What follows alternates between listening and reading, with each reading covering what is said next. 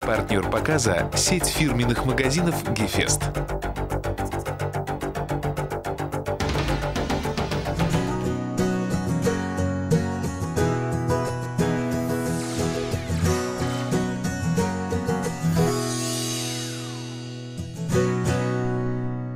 Добрый вечер, уважаемые телезрители. Здравствуйте, дорогие друзья. В эфире передача «Добрый вечер, Гомель» в студии Александр Гамоля и Светлана Князева.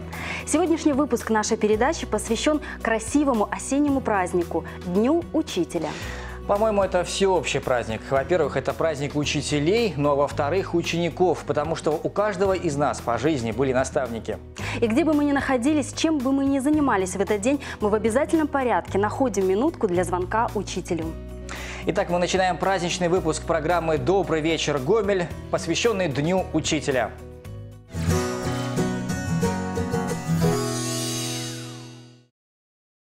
Первое воскресенье октября в нашей стране принято поздравлять учителей с их профессиональным праздником.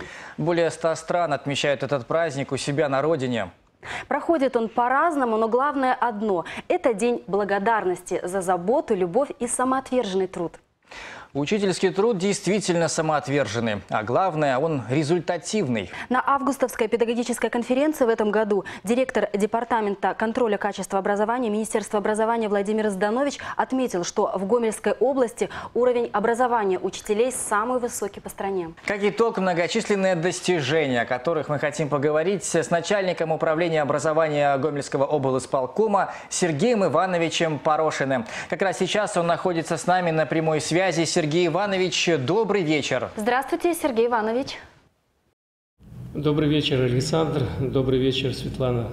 Сергей Иванович, перед тем, как задать вам несколько вопросов, мы хотели бы вас поздравить с Днем Учителя. Знаем, вы начинали карьеру воспитателем в одной из школ-интернате, поэтому желаем вам крепкого здоровья. Э, хотим, чтобы силы и энергии хватало для принятия верных управленческих решений и, конечно же, желаем благополучия всей вашей семье. Спасибо большое. Очень приятно слышать такие прекрасные слова. И мне э, вспоминаются первые дни своей работы на педагогическом поприще. Я с теплотой и вниманием всегда отношусь э, к своим преподавателям, которые меня научили в университете педагогической практике, мастерству, и своим учителям, которые поддерживали в первые дни работы в качестве сначала воспитателем, ну а затем дальше и учителем, и завучем и так далее. Профессия учитель – это звучит гордо. Во все времена она удостаивалась самой высокой оценки. Скажите, пожалуйста, а как сегодня, чем сегодня могут гордиться наши преподаватели, педагоги Гомельской области? Сегодня педагоги Гомельской области есть чем гордиться. Э, третий год подряд Гомельская область удерживает лидирующие позиции по качеству знаний. Ребята, участники Республиканской Олимпиады, э, показали прекрасные результаты. И мы сравнялись практически по качеству знаний с ребятами Минска и лицея БГУ. 22 диплома первых степеней в городе Минске, 22 э, в городе в Гомельской области и 24 в лицее Белорусской Московского государственного университета. Это говорит о качестве образования Гомельской области. Хорошо выглядит Гомельская область на э, международных олимпиадах. Э, все ребята, которые принимают участие, не возвращаются без награды. И в этом году э, нам приятно, что учащиеся города Гомеля, 51 гимназии, 14 гимназии показали блестящие результаты, привезли золотые, бронзовые медали. Сергей Иванович, мы знаем, качество образовательного процесса на Гомельщине, да и в целом э, по стране с каждым годом улучшается. Какие решения на местном уровне принимаются для поддержания этой тенденции? Меняются ли условия работы учителей? Может быть, какими-то планами вам хотелось бы поделиться с телезрителями?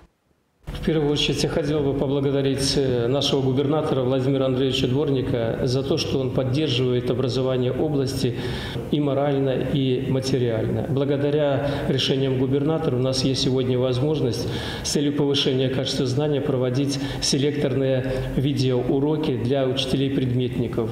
Сегодня улучшается э, материально-техническая база, и все делается для того, чтобы создать комфортные, э, удобные условия для учителя с целью э, более высокого качества преподавания э, различных предметов на повышенном уровне. Второй год подряд Управление образования проводит работу по внедрению современных форм информатизации системы образования. Хотелось бы, чтобы этот процесс в этом году был более на высоком уровне и более качественный. Мы находимся только в начале пути, но уже сделано немало. Внедряем активно электронные учебники. Я благодарен нашим учителям, которые разрабатывают программы различные, применяют э, современные формы преподавания э, с привлечением э, информационных технологий, в том числе и интерактивных досок, различных новых технологий. И мы, конечно же, видим, что это отражается на качестве образования Гомельской области. Сергей Иванович, а есть ли среди специалистов Гомельщины, учителей такие, чьи имена известны за рубежом? Да, это действительно так. Э, с уст не сходит такое имя, как э, Геннадий Короткевич, выпускник нашей гимназии номер 56 города Гомеля. И вот его успехом, э, значит, конечно же, сопутствовала работа и прекрасного учителя, кандидата наук Долинского Михаила Семеновича, который по настоящее время работает в средней школе номер 27 города Гомеля учителем информатики. Достаточно хорошо сегодня будут знать имя Струка Александра Николаевича, э, учителя э, математики гимназии номер 51 города Гомеля, который подготовил победителя Международной Олимпиады по математике, бронзовая награда Дубовик Егор. Прекрасные результаты показывает по русскому языку и литературе Жадейка Жанна Федоровна, э, учитель русского языка и литературы гимназии номер 14 города Гомеля. Ну и многие-многие другие учителя, которые причастны к победам на международном уровне наших ребят. И надеюсь на то, что количество имен и открытий наших э, учителей с каждым годом будет увеличиваться, и мы э, услышим новые имена победителей международных олимпиад, республиканских олимпиад, талантливых молодых учителей. И я уверен, что на Гомельщине работает большое количество учителей, способных подготовить ребят на международном уровне и прославлять нашу Гомельщину, нашу республику Республику Беларусь э, во всем мире. Сергей Иванович, а что бы вы хотели пожелать учителям в преддверии их профессионального праздника? Для меня самым теплым и близким праздником всегда э, являлся День учителя. Этот праздник, который связан с детством. Э, когда приближается этот праздник, ты вспоминаешь свои школьные годы, своих учителей с благодарностью, с уважением. И поэтому э, в День учителя я хочу искренне поздравить всех учителей, всех работников системы образования Гомельщины с этим прекрасным праздником. Учитель – это человек, который отдает э, часть своего сердца, часть своей души те знания, которые он имеет своим ребятам, своим ученикам, и убежден, что формирует настоящую личность э, нашего государства с тем, чтобы ребята после окончания средних школ, гимназий, лицеев, э, включаясь самостоятельно в развитие народно-хозяйственного комплекса, приносили огромную пользу своему государству. Я очень благодарен вам, дорогие мои коллеги, за ваш труд.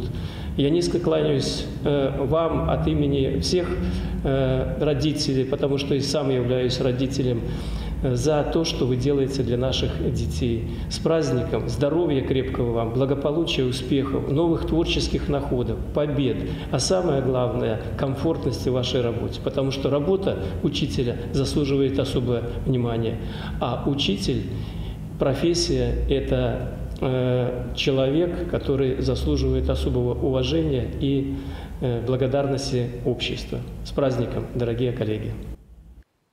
Спасибо вам большое за ответы и теплые пожелания. Спасибо, Сергей Иванович. До свидания. До свидания. До свидания. До свидания. Напомним, на прямой связи со студией был начальник управления образования Гомельского облсполкома Сергей Иванович Порошин.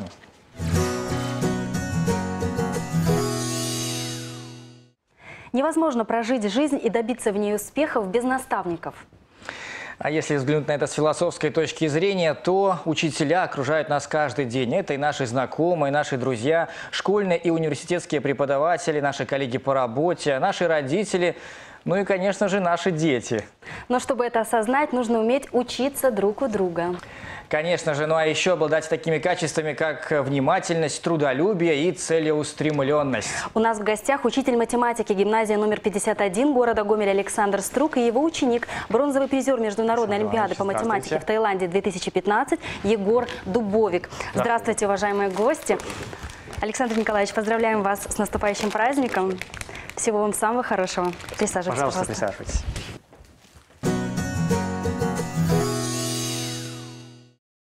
Егор, начнем, пожалуй, с тебя. Скажи, э, ты ожидал вообще, что добьешься такого результата на Международной Олимпиаде по математике? Ну, конечно, какие-то планы и надежды были. Без этого вообще не стоит ехать. Но все-таки был приятно удивлен, когда узнал, что получил медаль.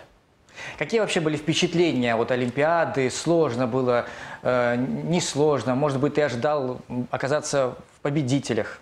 Ну, было очень сложно, было большое волнение, потому что 500, с- 500 участников было на Олимпиаде, около 100 стран, и когда всех посадили в одном зале, я стал очень волноваться и переживать, но вот все закончилось хорошо в итоге.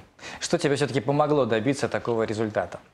Ну, наверное, поддержка родителей, учителей и знакомых. Скажи, а опыт, этот- такой опыт прибавил тебе уверенности в себе? Да, конечно, прибавил, потому что сейчас вот Олимпиады уже другие кажутся мелкими, и идешь туда с большой уверенностью в победе. Какой момент тебе больше всего запомнился? Может быть, были какие-то такие ситуации, которые э, ну, прибавили волнение, расстроили? А, ну, наверное, в принципе, вся Олимпиада прошла под таким девизом волнения, поэтому особых моментов не выделил. Сюрпризов не было? Сюрпризов нет, не было, все было тишь да гладь. Ну а теперь какие уж планы у такого великого математика? Ну, подготовиться к следующей Олимпиаде, она, к слову, пройдет в Гонконге уже в июле этого года. Александр Николаевич, а вы верили в успех своего воспитанника? Э, Как вообще готовились к Олимпиаде? Ну, мы готовились, э, начиная с сентября, сначала к городскому этапу, потом постепенно к областному, к заключительному этапу. Ну и, если честно, я верил, что Егор э, победит, привезет медаль. Э, Волновался, конечно, но я больше волновался на заключительном этапе, поскольку там решалось, кто попадет в отбор на международную. И для того, чтобы попасть в отбор, Егору нужно было опять занять, как и в восьмом классе, первое место. Вот. Он благополучно справился с этой задачей, но потом было проще, конечно, но все равно волнительно. Вот. Я очень рад, что он, достиг такого результата, хотя, конечно, есть, и он сам знает, есть еще куда расти. Да, если бы не было куда расти, бы было бы неинтересно, конечно, друг друга. Скажите, а много ли занимает время, вот, чтобы подготовить олимпиадни- олимпиадника? Какие это силы, какие энергозатраты? Сколько нужно уделять часов математике каждый день?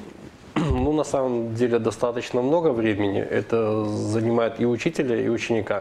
То есть, примерно, если готовиться к Олимпиаде такого достаточно высокого уровня, как областной этап или заключительный, то где-то час твоей подготовки идет на час работы с детьми предварительной. То есть, если у вас занятие часа 4, то 3-4 часа вам нужно посвятить для подготовки. С какого класса вы начали заниматься с Егором?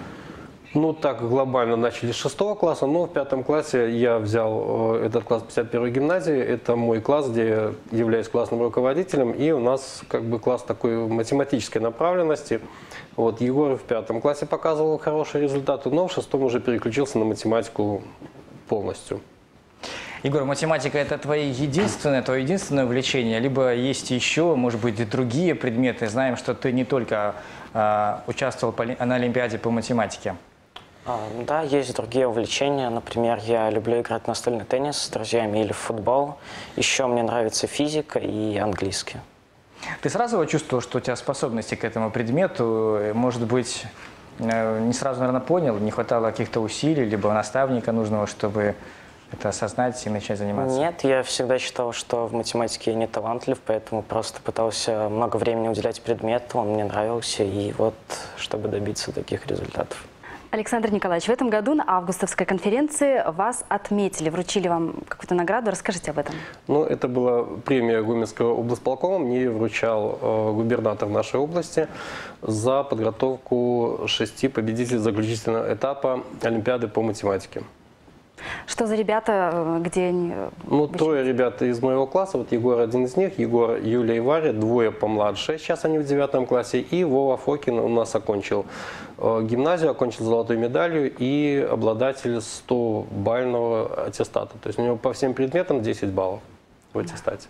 Уважаемые гости, в эти дни во всех без исключения школ празднуют День учителя. Очень красиво, торжественно. Я посетила несколько школ, посмотрела, как ребята готовятся, как ждут учителя. Вот предлагаю посмотреть вам сюжет, который у нас получился. Внимание на экран. Приближается праздник День учителя. Учителя – это те люди, которые учат нас на протяжении 11 лет. Они дают нам знания, напутствие нам на жизнь, помогают выбрать дорогу в жизни. Поэтому они заслуживают этого праздника. Многим учителям э, нужен отдых, потому что они целый год трудились, трудились, давали нам новые знания, и мы их должны как-нибудь отблагодарить. Думали-думали ребята из 27-й школы, как отблагодарить своих уважаемых учителей. И, наконец, придумали. Праздничная программа в школе расписана по минутам. В нашей первой сталинской железнодорожной, а к тому же в школе, в школе мира, это мероприятие всегда традиционное. С 7 утра наши ребята в нашей красивой миротворческой форме встречают всех педагогов, которые заходят в школу, и вручают им обязательно шарики и открыточки. Если бы видели учителя, с каким усердием и старанием эти крохи делают подарки своими руками, наверняка простили бы им многие шалости. Единогласно ребята считают, что праздновать День учителя просто необходимо. Потому что если его не праздновать, то тогда учительницы наши будут расстроены. А я желаю им счастья, здоровья, чтобы они, они ни, ни на одного ребенка не кричали, и чтобы они всегда были хорошие. Буду своего учителя поздравлять. Буду желать здоровья, счастья, и чтобы у него все получалось.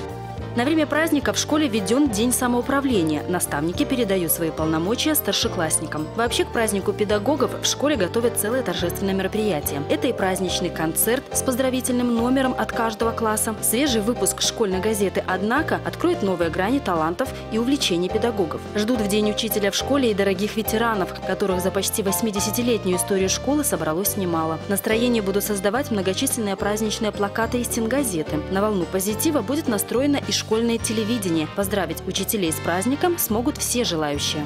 Хочу поздравить не только своих коллег, но и всех педагогов Республики Беларусь с этим замечательным осенним праздником. Пожелать им творчества, чтобы оно через край било. Пожелать им, конечно, крепкого здоровья, понимания со стороны и коллег, и родителей, и учащихся. И самое главное, школа мира, мы всегда желаем мира. Я желаю, чтобы учителя никогда не болели, всегда были здоровыми, и чтобы у них было много-много счастья, и чтобы у них все всегда сбывалось. чтобы у них было много подарков, и чтобы у них было много счастья, много хорошего всего и радостных дней, деньков. Я обещаю, что я буду хорошо учиться. Подготовка к празднику идет в каждой школе. Ребята используют каждую свободную минутку. Так, в третьей школе учащиеся военно-патриотических классов репетируют вальс в качестве подарка любимым учителям. Сюрпризом для педагогов станут поделки из соленого теста. С ребятами из кружка «Умелые руки» эм, мы сделали картину из батика к Дню учителя. Поздравляю всех учителей! А учителя, по словам ребят, у них самые лучшие. Хорошие, любимые, красивые, добрые. Я к Дню учителю, к Дню учителя готовлю музыкальный подарок, подарок всем учителям. Я тоже присоединяюсь к поздравлениям ребят. Уважаемых коллег поздравляю с таким прекрасным, замечательным праздником. Творческого всем вдохновения, благополучия, успехов, здоровья. Пришла учительница в класс, сама чуть-чуть постарше нас, и провела такой урок, что все забыли про звонок, а нам хотелось больше знать, и взрослыми быстрее стать, и выбрать жизни верный путь, и в будущее заглянуть. Быть может, кто-нибудь из нас войдет вот так же в школьный класс и проведет такой урок, что все забудут про звонок. Вот так вот э, готовились ребята к празднованию Дня Учителя. Расскажите, как у вас сегодня этот день прошел? Наверняка тоже отпра- в своей гимназии отмечали праздник. У нас в гимназии э, День учителя совпал еще с одной знаменательной датой. Дело в том, что наша гимназия 30 лет со дня образования, как учреждение образования. Поэтому у нас сегодня был э, Да, у вас двойной праздник. да, двойной Вас праздник. поздравить вдвойне. Да, у нас был большой концерт, куда приглашались и ребята, вот Егор, и наш класс, и ветераны педагогического труда, и родители. И также был день самоуправления. На наших детей мы можем спокойно оставить гимназию даже не на один день. Как это здорово, да? Быть уверенными в, ну, в своих воспитанниках. Егор, а вы как вот э, со стороны учеников, как вы готовились? Ну, мы тоже подготовили учителям некоторые подарки. Еще я проводил уроки математики, вот. И мы подготовили видеоролик для своих учителей. Здорово. Как ребята младшие? Слушались тебя, старшего? Да, слушались. Все получилось. Замечательно. Но надеемся, что мы еще услышим о твоих успехах немало хорошего. Егор, может, ты посоветуешь э, своим одноклассникам, друзьям, просто школьникам, как нужно заниматься математикой, сколько уделять часов в день, Э, может быть, секреты есть успеваемости? Ну, наверное, особых секретов нет. Нужно учиться как можно больше. И, наверное, планку во времени нужно ставить, потому что, прежде всего, для меня математика – это такой предмет, который дает мне некоторый отдых в душе. Я могу спокойно решать задачи, которые доставляют мне удовольствие. Поэтому нужно решать как можно больше. И в первую очередь для себя.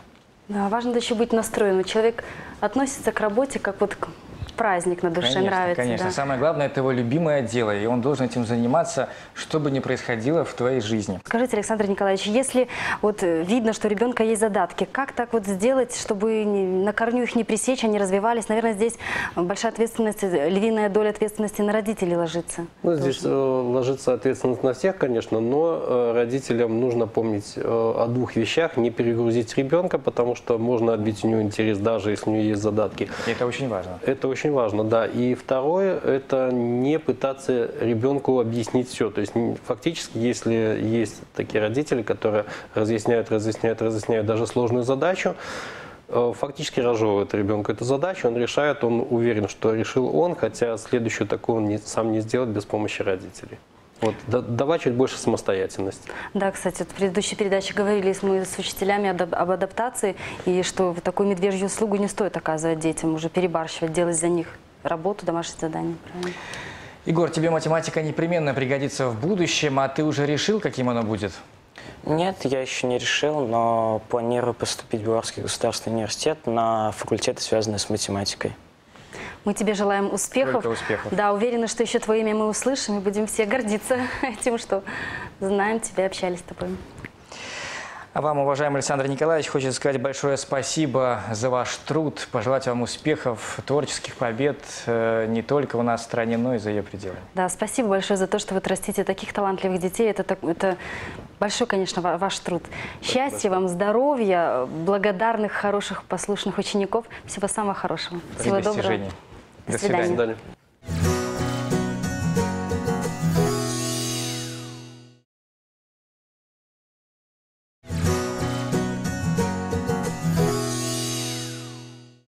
Партнер показа – сеть фирменных магазинов «Гефест».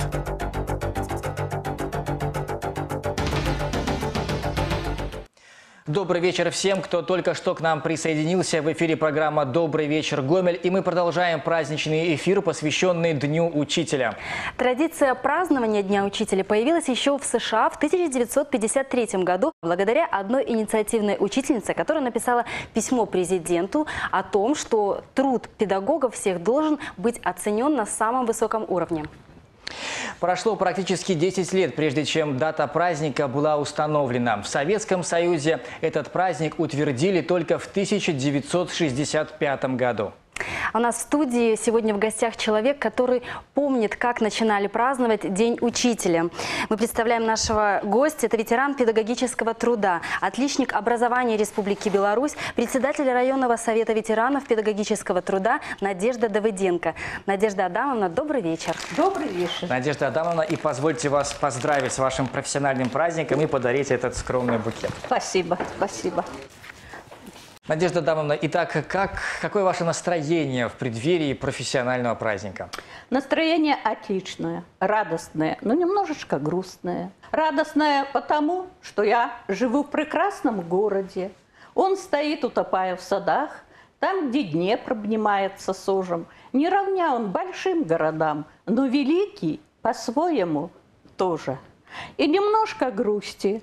Грусть о том, что уходят годы, что ты больше школьный звонок не зовет тебя в класс. Ты каждый день не встречаешь своих учеников, не можешь заглянуть им в глаза и сказать «Здравствуйте, дети!» и спросить «Как живете, мои милые?» Надежда Адамовна, ну грустить ни в коем случае не надо, потому что мы знаем, какая у вас сейчас активная жизненная позиция, об этом мы поговорим чуть позже. Кстати говоря, хочу сказать, что такие прекрасные строки Надежда Адамовна прочитала. Говорила она о родном городе Лоеве. Да. Ну, надеемся, ваши ученики тоже по вам скучают, грустят и вспоминают добрым и теплым словом. Надежда Адамовна, расскажите, пожалуйста, как в свое время вы выбрали именно профессию учителя? Знаю, что у вас в семье целая династия педагогов. Расскажите, пожалуйста. Профессию учителя я выбрала не случайно. С малых лет знала, что учитель – это человек уважаемый в деревне. Он учит детей. А дети – это будущее, они строят государство. Человек образованный, он умел общаться с людьми, он всем помогал. И еще у нас через улицу была школа. И вот в школе жизнь кипела, бурлила. И я еще, будучи маленькой, сравнивала это с ульем, где живут пчелы. А директор школы – это самая большая пчела, которой всеми командовал. Я часто бегала на школьный двор – Часто учителя приходили к нам домой. И так получилось, что я выбрала эту профессию. В семье же у вас были еще педагоги, да? Вот. Но жизнь сложилась так, что надо было мне жить в городе Лоеве. В городе Лоеве по приезду я работала инспектором отдела образования. Потом по семейным обстоятельствам перешла на работу в школу. Почти всю, всю работу работала замдиректора по воспитательной работе. Эту уже школу, ныне она гимназия, закончили мои дети, закончили мои внуки. Дочь моя – учительница по профессии, внучка моя – учительница. Закончила Лоевское педучилище, теперь работает в 72-й школе города Гомеля. Значит, выбор этот не случайно. У нас уже династия. Никто никого не заставлял идти на эту профессию. Так получилось. По любви, по согласию. Я думаю, что Надежда Адамовна подала собой хороший пример. Я хотела сказать, потому что детям, я как из ваших слов поняла, вы первая, первая в семье, кто стал... В семье, да. Да, представьте, дочка, внучка по вашим стопам, да, да, говорит о том, что действительно достойный пример был для подражания. Чем вас так увлекала ваша профессия и, наверное, до сих пор, судя по вашим словам, увлекает и заставляет вспоминать об этом? Это любовь к детям. Еще любовь к труду. Чтобы учить и воспитывать детей, надо много трудиться – трудиться, размышлять, думать, сопоставлять, читать, сравнивать. Чтобы прийти хорошо подготовленным уроком, надо много потрудиться. Это труд души, труд ума и все, что можно к этому приложить. Как складывалась ваша профессиональная карьера? Какие награды, может быть, самые приятные моменты, о которых хотелось бы вспомнить? Когда я приш... работала, я по образованию учитель начальных классов. И долго работала учителем начальных классов. Старалась, меня замечали. Вот в Лоев я переехала и сразу начала работать инспектором отдела образования. Мою работу тоже заметили, оценили. У меня есть грамоты Министерства просвещения, Республиканского комитета профсоюза. Потом я перешла в школу, оценили мою работу и наградили меня значком «Отличник образования». Работая заместителем директора по воспитательной работе, это очень тяжелый труд. Труд днем и вечером, и ночью делаешь одно, а в голове составляешь сценарии других праздников, других да. мероприятий. Это огромная работа с родителями, посещение родителей на дому. Это и учительские патрули, когда мы вечерами ходили в клуб проверять помогать, чтобы детей никто-то не обидел, чтобы они не были долго на улице. И разные мероприятия, встреча гостей, обмен опытом. Ну и заодно работу мою оценили, обобщали опыт Институт совершенствования учителей Гомельский. К нам приезжало много гостей. Ну и так в этой должности я работала до самой пенсии. Вы говорите, вас всегда замечали. Это же неудивительно, когда человек на своем месте, когда он добросовестно выполняет труд, конечно, всегда замечает и отмечает. Надежда Адамовна, а если вспомнить, вот как раньше учителя работали, как сейчас, сравнить э, те времена и эти, может быть, и образ учителя, и отношение к работе. Может быть, больше стало обязанностей, каких-то ответственных моментов, на которые уделяют внимание свои учителя? Вы знаете, изменилось много. Изменилась сама школа, изменились учебники – изменились программы, изменилось и отношение детей к школе. Раньше в школе, когда вот я начинала работать, учили, что мы? Мел, тряпочка, доска, деревянные палочки, учебники. А сегодня компьютер не удивишь уже даже ребенка в первом не классе. Не только не удивишь, но это обязательная Обязательно, да. Интернет – все изменило в школе.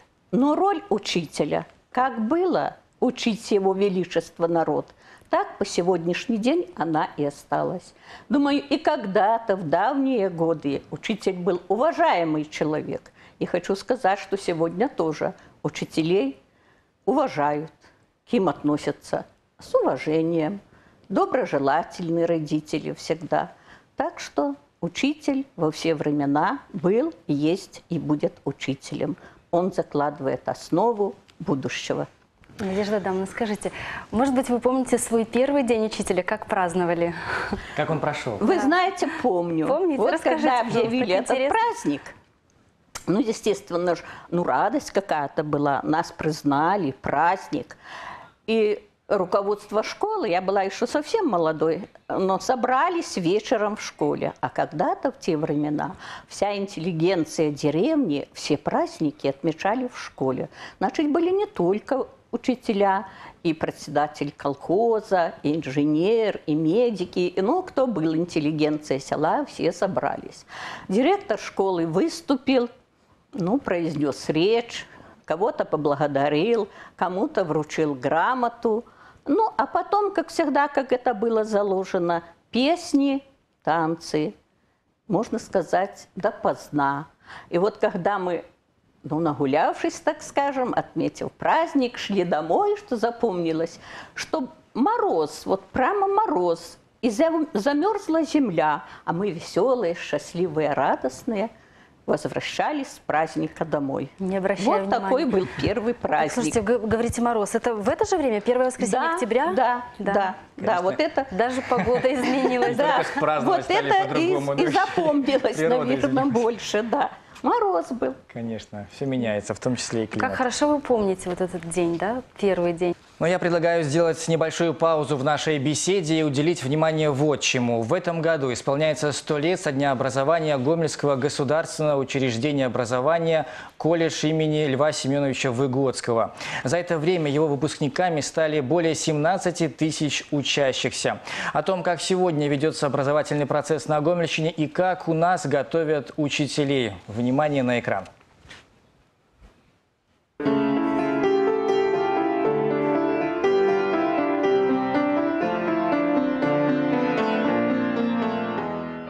Доносящиеся звуки фортепиано из актового зала, репетиции на сцене молодежного театра и новые творческие работы студентов. Как и сто лет назад, образовательный процесс в Гомельском колледже имени Льва Семеновича Выгодского идет полным ходом. За почти вековую историю существования учебного заведения многое изменилось. Прежними остались высокий уровень подготовки преподавателей и фундаментальные принципы педагогики. Это наука, которая занимается воспитанием и формирует личность человека. Учитывая то, что мы воспитываем воспитываем будущих педагогов.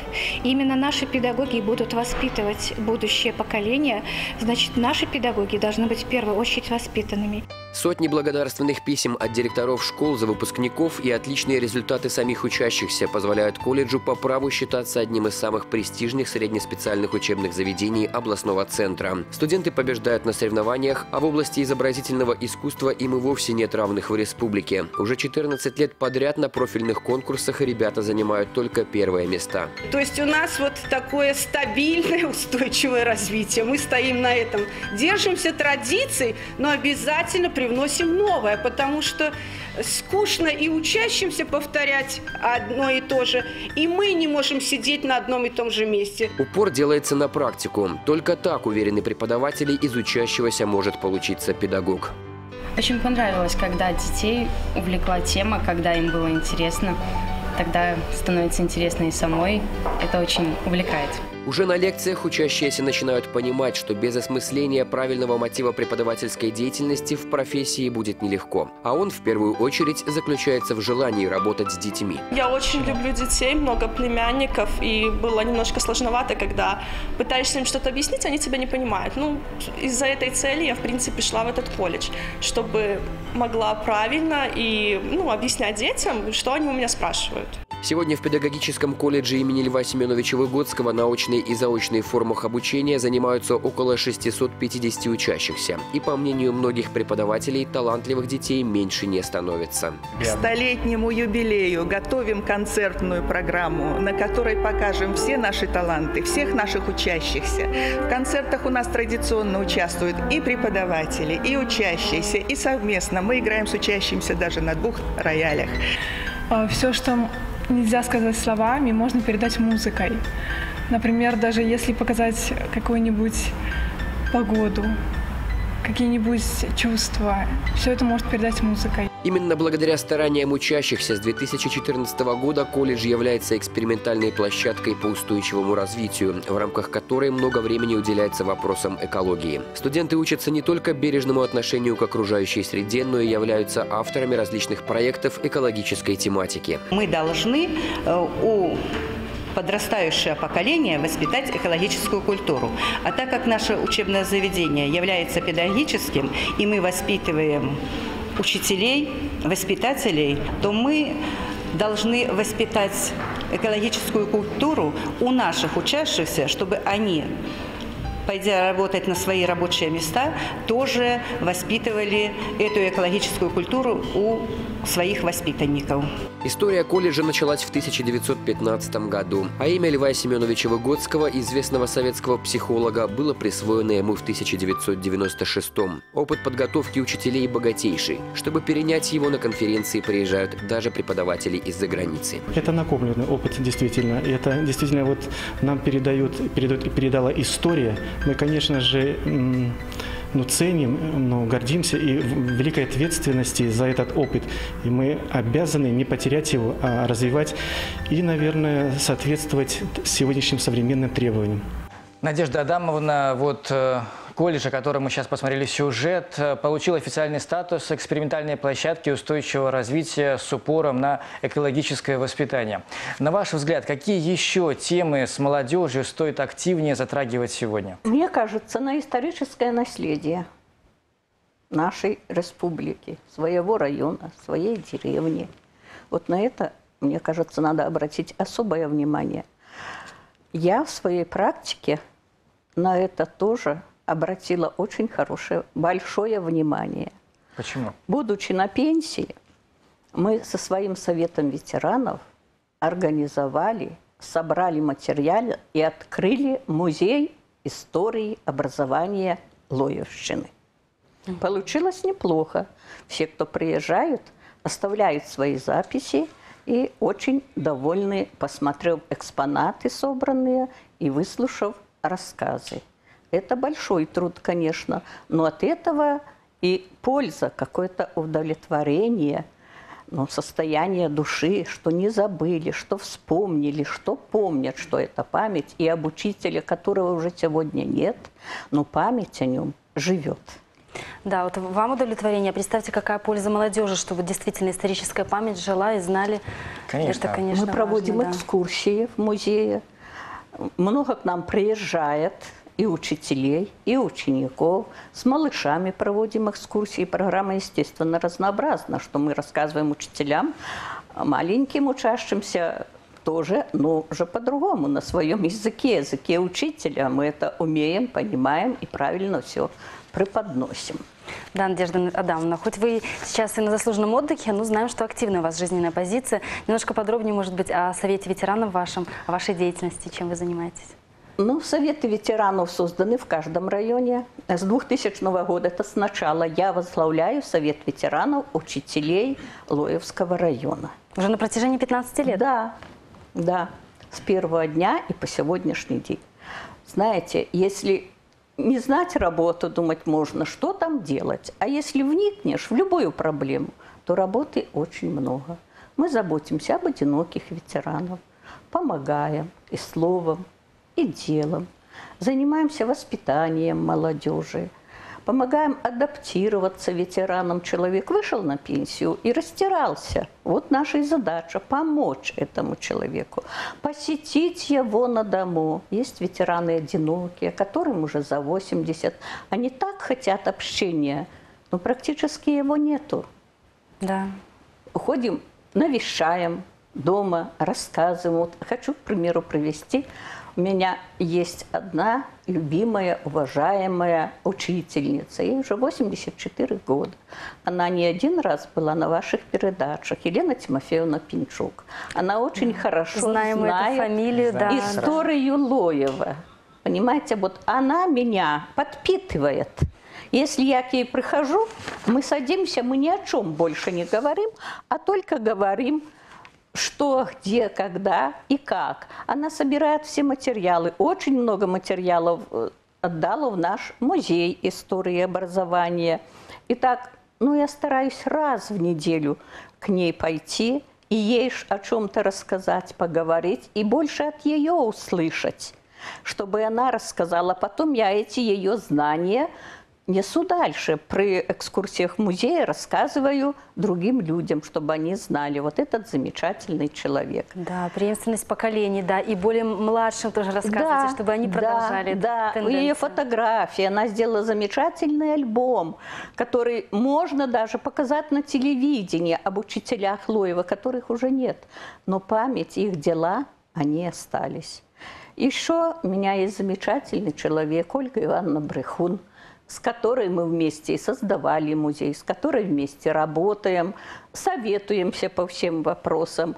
И все члены совета, потому что ну, подбирали по душе, по тому, чтобы человек был ценен, и работа его была ценна в совете, не просто да, союз не у вас просто. единомышленников, союз которые единомышленников. одно большое Все общее нужное дело. Да. Большую работу провели по подготовке к 70-летию Великой Победы. Вот создалась у нас такая идея, мы осуществили, мы собрали материалы о детях войны.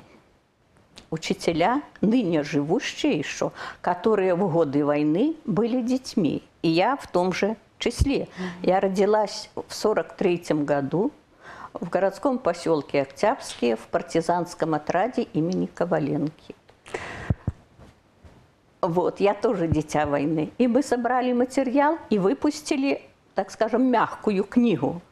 Ну, своим способом. В отделе образования отпечатали, редакция помогла немножко. Это безвозмездно, ни за какие деньги. И вы знаете, насколько интересные материалы где рассказывали люди сами, где ходили учителя, члены совета, спрашивали рассказы, это все записывали, это получилось душевно. Надежда Адамовна, у вас такой богатейший опыт преподавательской деятельности, организаторской деятельности. Ваши советы учителям вот, э, сегодняшнего времени, может быть, даже наставления, какие они? Вы знаете, учителям молодым, скажем так, да, сегодняшнего да. времени. Да, конечно. Я хочу пожелать чтобы они, раз попали в учительскую профессию, чтобы они ее любили. И заодно будут любить свою профессию, они будут любить детей. Без этого учитель не состоится. И еще надежды, веры и любви. Без этого ни человек, ни учитель тоже не состоится. И последнее – доброты. Только добрый человек воспитает добром себе подобного, то есть доброго человека. И так пойдет дальше. И я думаю, я даже в этом убеждена, что только доброта спасет мир. Спасибо вам огромное, Я думаю, Надежда что к советам Надежды Адамовны можно прислушаться не только преподавателям Да. Гомельской области, но еще и каждому человеку, живущему на этой земле. Спасибо вам огромное, Всё. Надежда Адамовна, э, За, за, ваше такой участие в этой интересный программе, за такой разговор. интересный да. разговор. Мы Здоровья желаем вам. вам. крепкого здоровья, счастья, благополучия. Поздравляем вас с праздником, вот, долгих вам лет жизни и плодотворной дальнейшей работы на благо вот, всех, кто вас окружает. Спасибо большое. Спасибо Я большое. тоже всех, и вас в том числе, поздравляю с праздником. Праздник этот народный праздник, не только праздник Да, мы учителя. сегодня, Абсолютно с Сашей, об этом согласны. говорили, что это праздник Потому абсолютно что от каждого дома проложена тропинка к школе, к учителю, к сердцу учителя. Кто-то учился, кто-то учится, кто-то будет учиться. Поэтому этот праздник народный. А большинство Спасибо вам, из нас не Надежда забывает учителей. Да, не смейте забывать старости. учителей. Они о вас тревожатся и помнят. И помнят, да. Спасибо вам. Всего вам самого доброго и до свидания. До свидания. До свидания.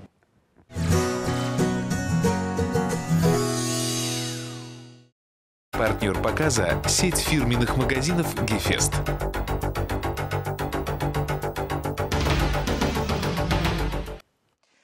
Учитель – это человек, от которого зависит очень многое. Родители часто не могут уделять детям столько внимания, сколько тратят на них учителя и преподаватели. У нас же сегодня в студии человек, который не только максимум внимания уделяет своим ученикам, но и своим детям. Это директор гимназии города Буда-Кошелева Анна Василенко. Анна Михайловна, добрый вечер. Добрый вечер. И, Анна Михайловна, хочется сразу вас поздравить с Днем Учителя. Э, Пусть эти цветы украсят сегодняшний праздник. Спасибо большое. С праздником вас. Анна Михайловна, для начала скажите, пожалуйста, сколько лет вот вы работаете в должности директора гимназии и кем, может быть, до этого, как начинался трудовой путь? Ну, мой педагогический стаж начался в 1999 году в должности учителя Кривской средней школы. Это школа, где мой муж сейчас работает директором. А с июля этого года я была назначена в должность э, директора гимназии города Будокошелева. Ну, в этой должности сейчас и работаю. Как вам удается совмещать такие важные роли, как многодетная мама и руководитель? Откуда Да. берете силы, где их черпаете? Скажем э, для вступления, да, что Анна Михайловна у нас не только замечательный руководитель, но еще и мама многодетная. У нее три сына богатыря, двое из которых Дмитрий Иван сегодня у нас в Практически студии. футбольная команда. Да, да. Вот, поэтому, да, действительно, Анна Михайловна, как удается вам совмещать такие роли? Ну, вы знаете, вот семья – это вообще самое дорогое, что есть у человека.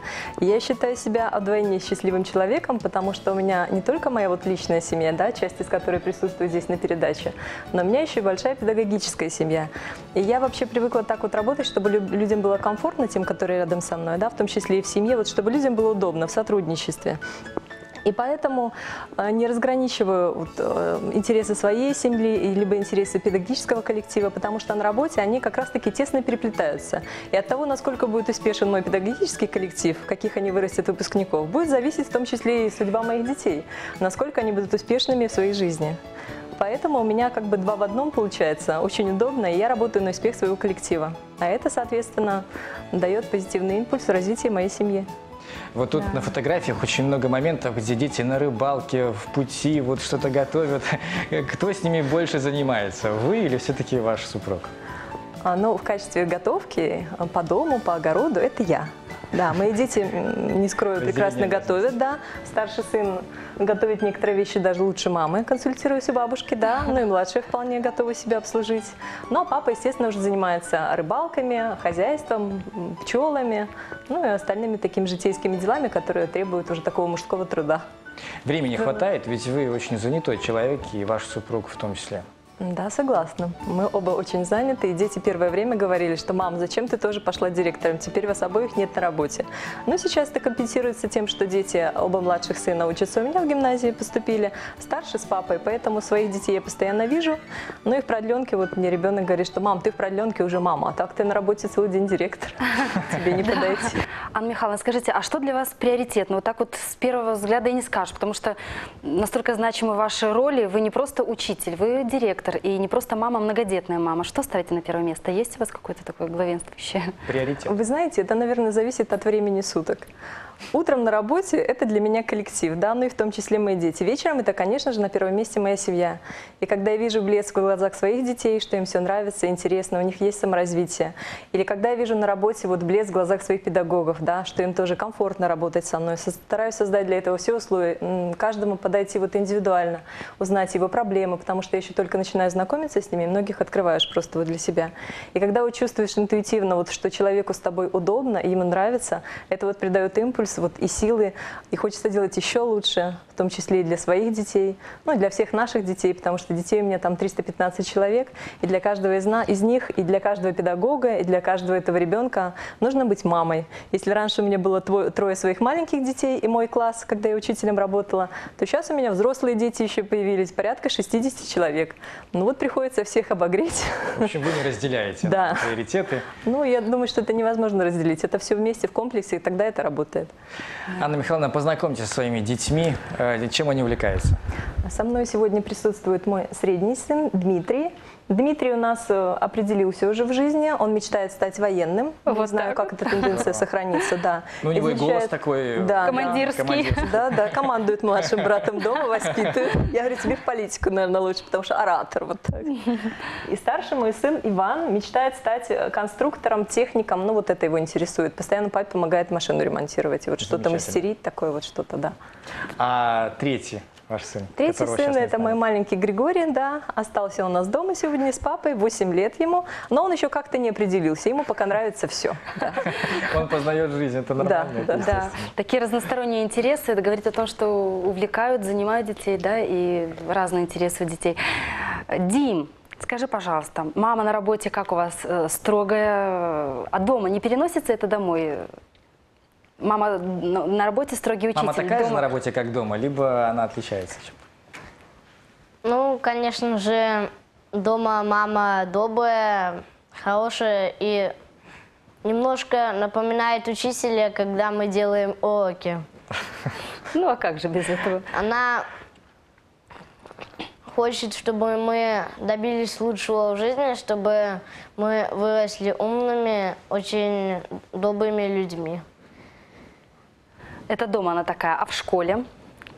Ну, в школе, соответственно? В школе, соответственно, она мне директор, но когда уже продленка, то она мне становится мамой, она приходит, забирает меня с моим младшим братом Григорием, и мы едем домой. Дома мы готовим все вместе ужин, едим.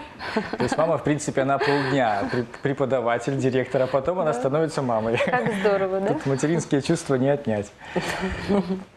Да. Иван, ну расскажи о себе, чем ты увлекаешься. Я увлекаюсь велоспортом, рыбалкой. Э, люблю там поездки всякие, походы. Где рыбачите в основном? Ну, в основном на озере, на речке, на Днепре. И как улов? Ну, когда как. Хороший? Иногда, когда хорошо пойдет, можно наловить килограмм 5 рыбы неплохой. Это такая маленькая реклама телезрителям, что знали, что на Днепре много рыбы. Клев хороший, да. Ребят, ну как вообще не жалеете, что как-то сложилась жизнь, что у вас родители педагоги? Но это труд, действительно, они много внимания уделяют вот э, работе, другим детям. Вам достаточно вот материнской любви, заботы, внимания? Ну, хотелось бы немножко больше, но родители стараются уделять побольше внимания, приезжать раньше с работы, Анна Михайловна, где еще услышите правду, как не вот на передаче, да, будете мотать на ус. Ребят, у вас сегодня есть возможность, сегодня же День учителя, вот буквально завтра, на днях послезавтра, поздравить своих учителей и родителей, в частности, с Днем учителя, пожалуйста. Дим, что бы ты пожелал учителям? Поздравь, и, конечно пожалуйста. же, своей маме. Да. Ну, я бы пожелал своей маме и своей маме и своему папу всего самого наилучшего, чтобы у них было все на работе хорошо. Ну и, конечно же, чтобы все складывалось у них. И я еще хочу поздравить всех своих учителей. Хорошо. И пожелать им здоровья, да. добра и, И чтобы они были добрыми и не, как многие дети Не зада- желали сегодня в сюжете. и не задавали много заданий домашних, да? Иван, от тебя поздравления. Ну, от всех учащихся хочу поздравить учителей и сказать, что мы будем хорошо учиться, слушаться их. И поздравляю всех учителей, в первую очередь своих родителей, так как они тоже педагоги и директора. Поздравить с Днем Учителя. Спасибо. Анна Михайловна, ну наверное, тоже у вас целый коллектив педагогов. Хочется вам поздравить. Пожалуйста. Да, не только свой коллектив, но и всех учителей. Я хочу поздравить с наступающим праздником и хочу пожелать, пусть этот год пролетит для всех на крыльях успеха. Пусть каждый из нас будет успешен, пусть мы будем успешными педагогами, будем давать успешные уроки, и на выходе у нас будет успешный выпускник, который сможет занять достойное место в своей жизни. Спасибо, Анна Михайловна. Мы Спасибо вас вам тоже большое. поздравляем с праздником. Здоровья вам, крепкого счастья, вот успехов, такого же энтузиазма и дальше, чтобы вас хватало и на работе, и для детей в семье. Всего вам самого хорошего. Я уже делилась с Сашей впечатлением, когда увидела фотографию вашу, что не- необычно очень красивая женщина. Вот. э, Поэтому оставайтесь такой же цветущей и дальше. Всего самого доброго. Мы на телезрителям напоминаем, что у нас а, в гостях была директор гимназии города Буда-Кошелева Анна Василенко вместе со своими сыновьями. Всего Анна доброго. Михайловна, Дмитрий, Иван, до свидания. До свидания. Спасибо.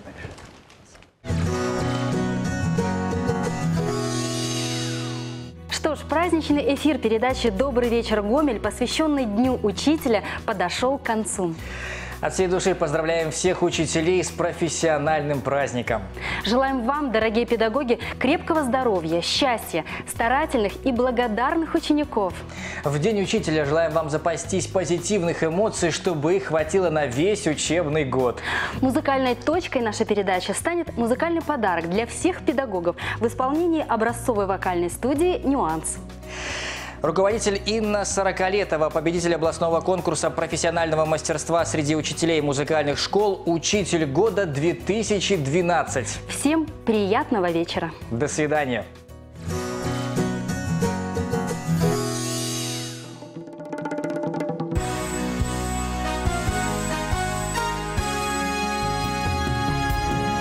Школа смотрит добрыми глазами сияет взгляд от чистоты Наполняет небо голосами Украшает красками холсты. С самого начала объяснила нам Что душа дороже серебра. Наша школа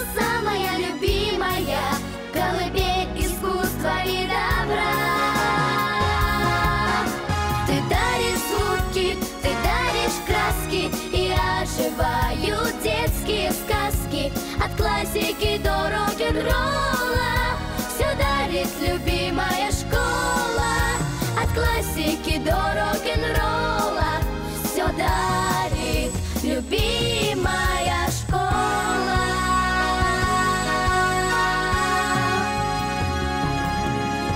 Высоки и помыслы, и чувства, и бегут твои ученики.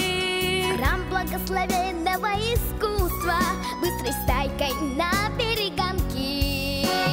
Эта дверь открытая для каждого, и покуда вертится земля,